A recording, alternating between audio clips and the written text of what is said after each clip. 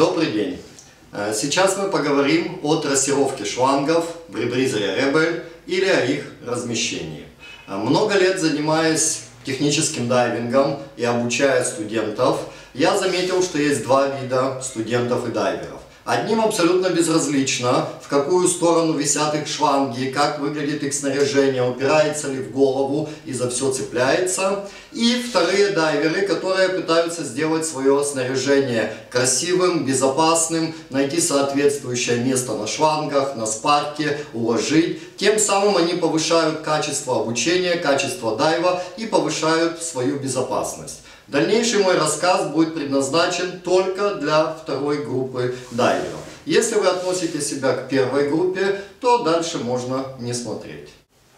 Начав конструировать свой ребризер, я конструировал каждую часть, чтобы она отвечала этому принципу. И сейчас я вам покажу, что получилось. Итак, специально сконструированная плита, специально сконструированное крыло, скользящие манифольды, карниз и контрлегкие позволяют нам добиться отличной трассировки. Итак, посмотрим сзади. Э, Первое, у нас крепятся регуляторы, скользящие манифольды позволяют менять длину шлангов, но держат их всегда на своем месте. Они не летают в стороны и не двигаются, что также нам добавляет удобства при сборке. Шланги никуда не нужно убирать. Наличие специального крыла и отверстий в крыле позволяет нам пропустить все шланги под крылом. Абсолютно все. Как вы видите, сверху крыла не находится ни одного шланга. А Вы можете открыть интернет и посмотреть кучу ребризерных фотографий с дайверами, с ребризерами, как выглядит это в обычном варианте. Дальше. У нас есть специальные накладки на харнисе, которые служат для защиты сухого костюма. И также они служат для того, что в них пропускаются шланги. То есть даже здесь сверху вы не увидите ни одного шланга, все скрыто. Понятно, что можно так не заморачиваться и просто попустить их под крылом, но мне все-таки хотелось, чтобы все было по возможности идеально. Дальше. На харнисе одеты резинки, которые, например, удерживают инф манометры на своем месте. Поэтому, когда мы будем собирать ребризер, нам не нужно будет ничего никуда заправлять. Теперь контрлегкие. Для того, чтобы не нарушить данную гармонию, в контрлегких мы изготовили специальные карманы. Было испробовано около десятка различных систем. Одни были тяжелые в сборке, другие еще по каким-то причинам не подошли, поэтому осталась такая система. Итак, я сейчас покажу вам, как это будет выглядеть в собранном состоянии.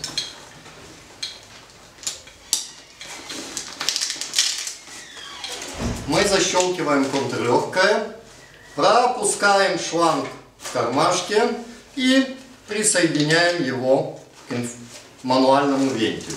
Итак, как вы видите, шланги исчезли полностью. Да, их можно видеть сбоку, но при одевании и при снимании мы не зацепимся рукой ни за один шланг. Точно так, с другой стороны, как вы можете видеть, здесь дополнительный шланг со свейджлоком. Также может быть еще один шланг поддува сухого костюма.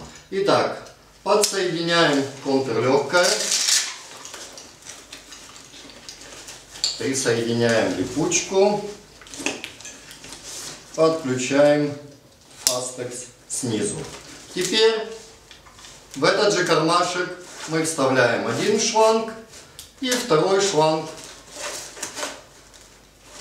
мануального поддува. И цепляем его к мануальному поддуву.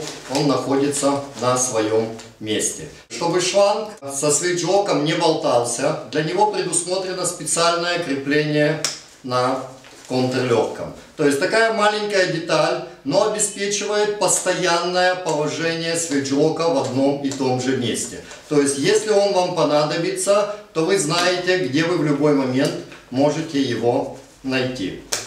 Также у нас есть специальное надежное крепление для инфлятора. Как я уже говорил, инфлятор расположен в соответствующем месте и идеально подходит для крепления. То есть, если мы посмотрим,